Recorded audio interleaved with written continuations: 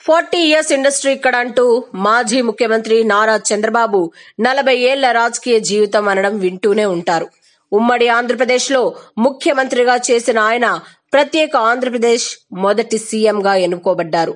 ప్రజలు ఎంతగా నమ్ముతారో ద్వేషిస్తే కూడా అంతకు అంత దారుణమైన నిర్ణయం తీసుకుంటారు. ఇప్పుడు ఏపీలో అలాగే అయ్యింది చంద్రబాబు పరిస్థితి. ఒకప్పుడు టీడీపీ అధినేతకు ఎంతగా గౌరవించారో ఇప్పుడు అంతగా విమర్శిస్తున్నారు. ఇందుకు ఉదాహరణే మొన్నటి అమరావతి యాత్ర. అమరావతి పనుల తీరును పర్యవేక్షించేందుకు తన టీంతో వెళ్ళిన చంద్రబాబు కాన్వాయ్పై చెప్పులు చీపుర్లు రాళ్ళ దాడులు చేశారు ప్రజలు. అమరావతి నిర్మాణం కోసం తమ పంట పొలాలను తీసుకొని అతి గతి లేకుండా చేశారని కొంతమంది రైతులు ఆక్రోశం వెళ్ళగక్కారు తన నలభై ఏళ్ళ కెరీర్లో చెప్పులు విసిరించుకునే స్థాయికి దిగజారిపోయారని అధికార పార్టీ నేతలు విమర్శించారు. ప్రజలకు మంచి చేస్తే నెత్తిన పెట్టుకుంటారని చెడు చేస్తే చెప్పులు విసురుతారని ఇప్పటికైనా చంద్రబాబు తెలుసుకుంటే మంచిదని హితవు పలికారు. తాజాగా టీడీపీ అధినేత చంద్రబాబుకి మరోసారి ఘోర అవమానం జరిగింది.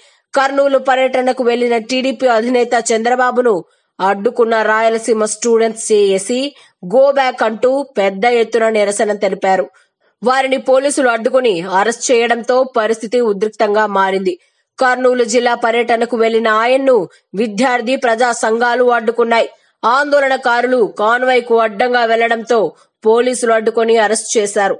దీంతో కొద్దిసేపు ఉద్రిక్త పరిస్థితులు నెలకొన్నాయి. మూడు రోజుల పాటు పార్టీ నేతలు కార్యకర్తలతో నియోజకవర్గాల వారీగా సమీక్షలు నిర్వహించనున్నారు. పార్టీ బలోపేతంతో పాటు భవిష్యత్ కార్యాచరణపై చర్చించనున్నారు.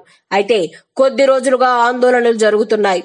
మంత్రులు ఎమ్మెల్యేలు ఎంపీల ఇళ్ళను ముట్టడించారు. దాదాపు రెండు నెలలుగా ఆందోళనలు జరుగుతున్నాయి. తాజాగా ఈ నిరసన సెగ చంద్రబాబుకు బలంగా తగిలినట్లు తెలుస్తోంది. అచ్చం అమరావతి సీన్ మళ్ళీ రిపీట్ అయినట్లు తెలుస్తోంది. అయినా చంద్రబాబు టీం ఇప్పుడు ఏం సాధిద్దామని పర్యటనలు చేస్తున్నారో వారికే తెలియాలి. ఏది ఏమైనా ఏపీలో చంద్రబాబును ప్రజలు ఎంతలా వ్యతిరేకిస్తున్నారో ప్రత్యేకంగా చెప్పాల్సిన పని లేదు. ఏది ఏమైనా జగనన్న పాలనకు ఈ సందర్భంగా కొట్టేద్దామా? అలాగే మీ విలువైన అభిప్రాయాన్ని మాకు తెలియజేయండి. మర్చిపోకుండా మా ఈ ఛానల్ని సబ్స్క్రైబ్ చేసుకోండి.